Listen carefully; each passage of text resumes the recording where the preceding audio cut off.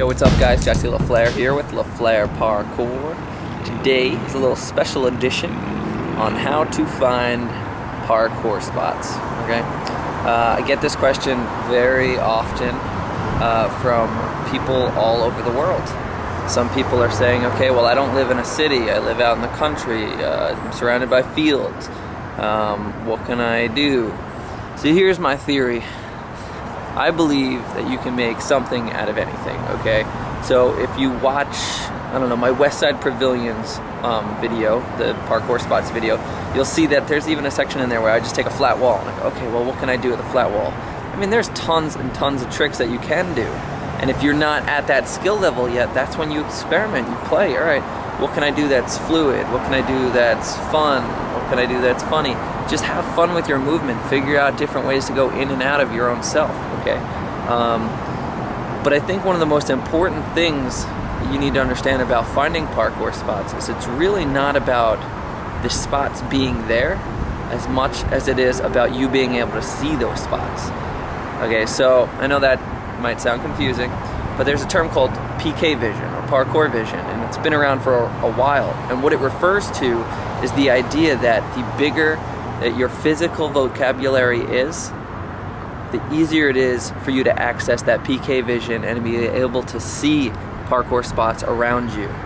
So you might have noticed, uh, for you guys that are, have been doing it for a little bit, that you're starting to see that you could do this movement at this spot. You never realized that before. Like, you know, maybe there's a cat grab.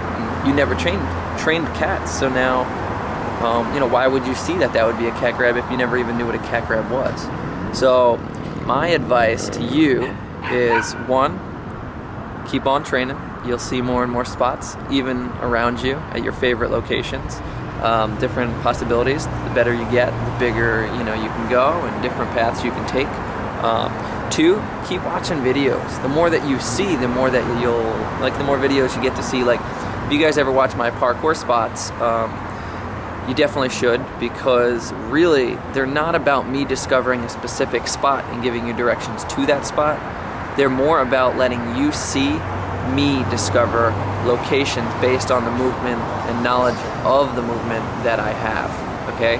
So the more that you watch me discover that, you're also learning yourself, okay, next time you see a wall that there's a four foot ledge um, to a drop and another, you know, a nice eight foot ledge for you to grab onto. Oh, I can Kong to cat that. You know, um, what else could you do? You can dash to cat that. You can speed to cat that. You can, if it's a drop wall like the one at the West Side Pavilions, you could Kong to precision that. Um, you can reverse to cat. You know, you just keep going. But so the the true idea about finding these spots is really about just opening up your vision, your imagination, and and learning more movement. So the better you get, the more spots will become visible to you. All right. One other thing that I do um, in terms of physically finding locations is using Google Maps. Um, and it can be deceiving at times, but based on shadows and stuff, like if you guys watched the Yorba Linda video uh, that Josh Hill discovered, the Brea Park one, those walls looked like little tiny handicapped walls, and then we got there and they were like huge, and we were like, uh, okay, which is fine for us, you know, because we're been doing this for a while, so um, just gotta be careful with that. But even still, you'll find locations. Um, if you checked out the Westside Pavilions parkour spots video, that spot was specifically found by me using Google Maps. And I don't think I would have ever known it was there if I didn't try that approach. Okay? So that's one way to do it. Other ways, you know, word of mouth, just keeping your eyes open every time you go somewhere.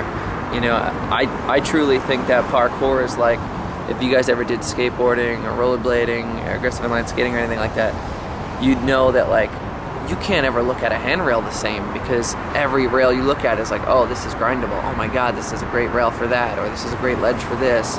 Um, so same thing with parkour. Once you start doing it, all of a sudden the world opens up, and you're going, oh my God, oh I got to come back to this spot. I got to come film here. I got to do this. So keep training. Um, keep watching videos.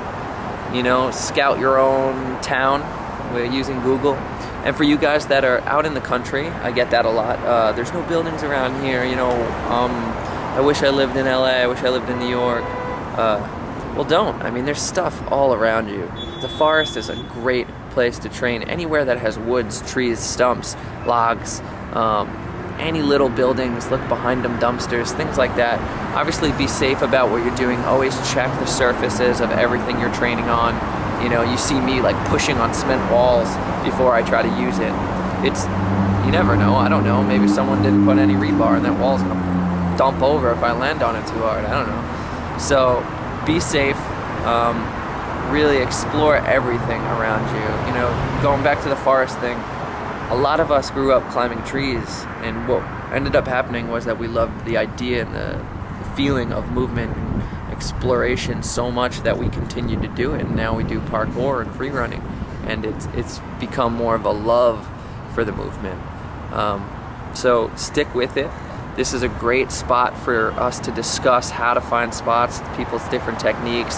So if you have any advice, questions, or comments, write down in the comments section. Uh, and I will respond. Other people will join in. It'll be like a little forum. It'll be fun. Um, thanks for watching. Please subscribe. Peace out. Much love. Keep on training, baby.